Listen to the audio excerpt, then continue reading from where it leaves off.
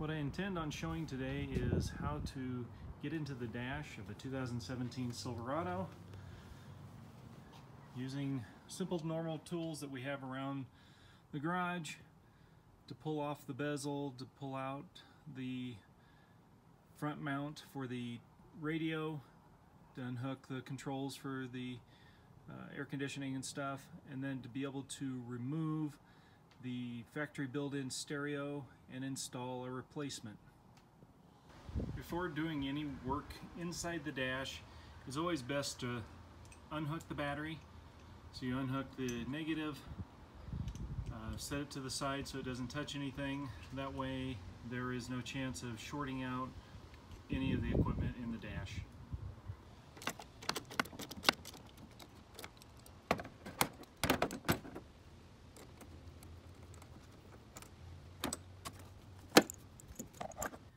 Bezel removal is fairly easy. This portion around the outside here, internal to the vents, so this part here, this is the bezel that comes off. It comes down around here. There's this thin part which you have to be careful of because this is the probably the part that most easily can break. What we'll do though is we'll start on the side here. We use a normal screwdriver, a nice clean cloth, that way we protect the uh, trim and everything so we don't do any scratching. There are tools available that you can buy, plastic tools that work quite well also. Hooking the screwdriver inside the cloth, we can pry it down inside and slowly pull out from this. You'll hear the clips give way. There'll be several clips along. There's a couple in this side portion. There'll be a few across the top, two here, and there's some down here on the bottom also. Very lightly move around the sides, pulling on it, and be able to get all the clips to pop out.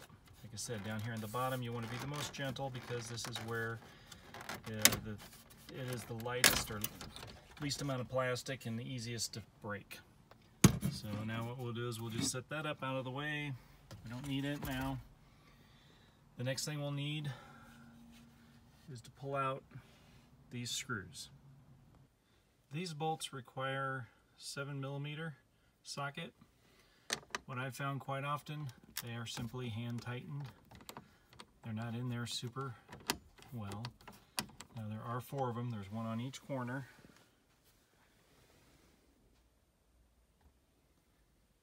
And we got the upper corner.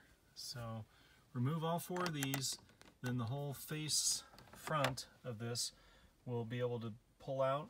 There will be clips holding it on the sides, on both sides, but you'll simply be able to pull it forward and then we'll unhook the cables behind it. All the screws have been removed. Now what we can do is simply give a little pull on both sides of the face. It will come off. Then we have a few cables we'll unhook. We'll unhook these two. There's one on the bottom here and one clear down at the bottom for the vent control and stuff. So now if you look at the backs of them, there is a little pin right there that you simply push in and pull the plug. They'll all have something similar. We've got the third one for the stereo portion. Squeeze, pull, and then the one for the air conditioning and the vents. Now, that they're all loose, so that way you don't have the pressure or the weight of the front pulling on those cables the entire time we're doing work in here. We can just set this out aside, put it on a nice clean cloth or something so that the face doesn't get scratched and keep it secure. Now I've got the face removed, set to the side.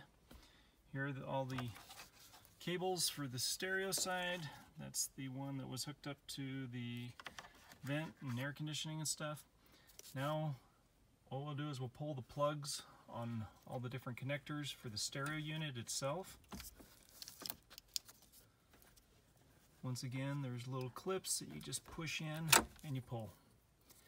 They are color coded fairly well, so you shouldn't be able to get them too mixed up. This one obviously is the antenna, and then there's the satellite antenna. All the radio portion. speakers.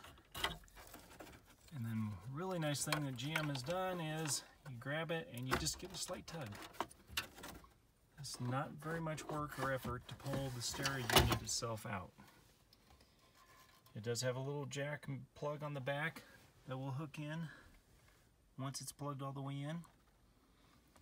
So once it's out, we can set it to the side and we'll get our replacement unit and put it back in. Now I'm simply going to slide the replacement unit in, push it nice and slow and carefully. You'll kind of feel it set itself in place. There are areas where it'll be nice and smooth, so now we'll just take all these cables, we've unhooked them, just plug them back in.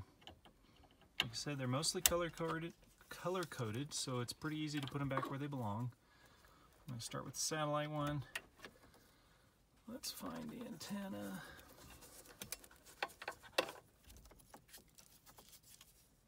We'll plug him in.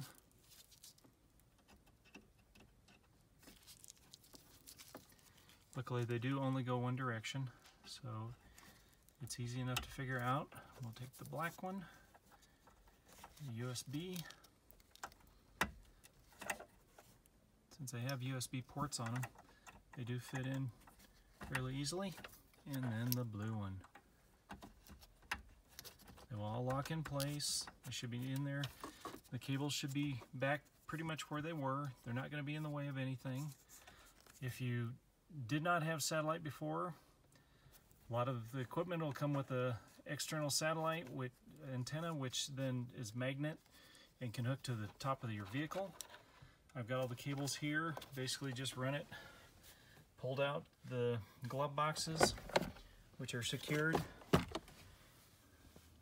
with a screw here and a screw here. Then what happens underneath, down on the bottom, there'll be a screw, or two screws. You unhook those, this entire lower portion will come out. You don't have to remove the upper portion. It will be able to come out though at that point.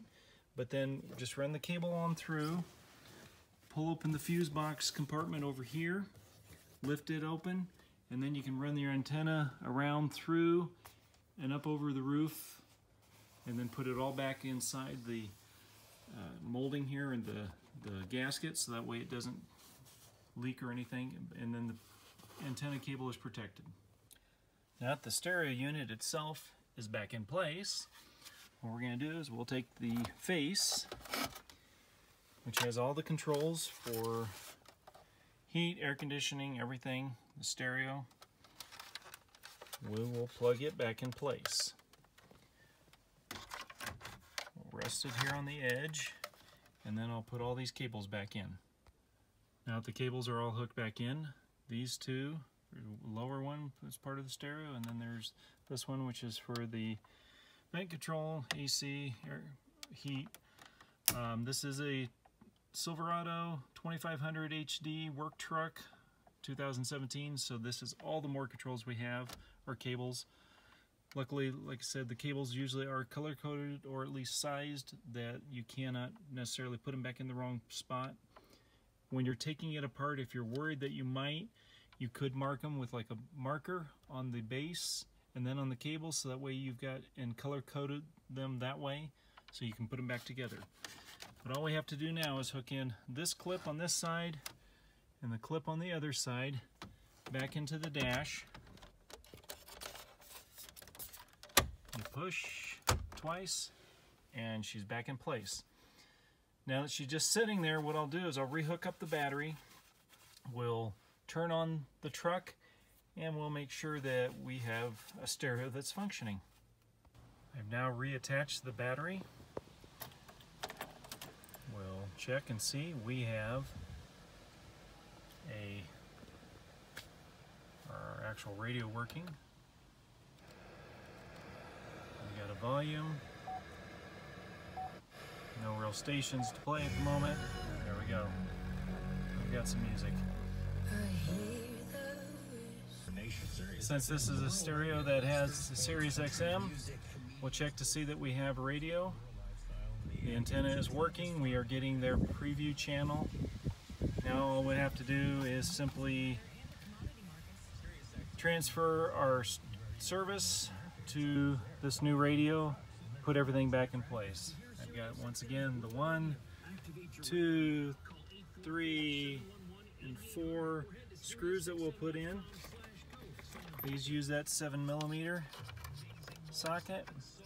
We're putting these in, we want to make sure they're as lined up and centered as possible so that way the bezel, when we put it back in, will fit perfectly. And when we remove these screws, like I said, they were pretty much hand tightened.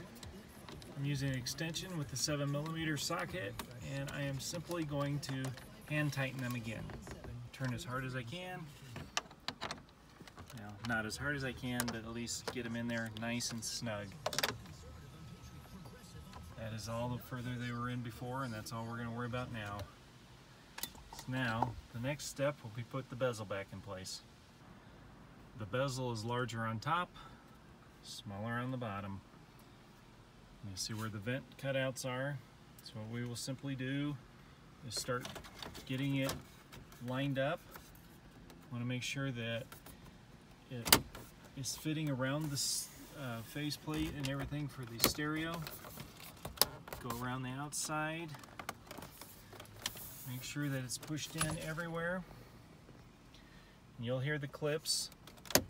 They'll snap in place. But you got to make sure that it's lining up everywhere too. As you can see on this side, I've got it just a little bit too low over here, which means that I'm going to do a little bit of adjustment. And we're done. We have put everything back in place. Turn on the ignition. We see our Chevy Link.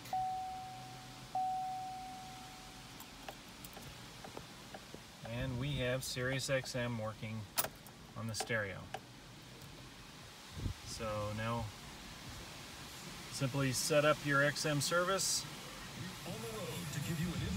and then you'll have everything going and check the other stations.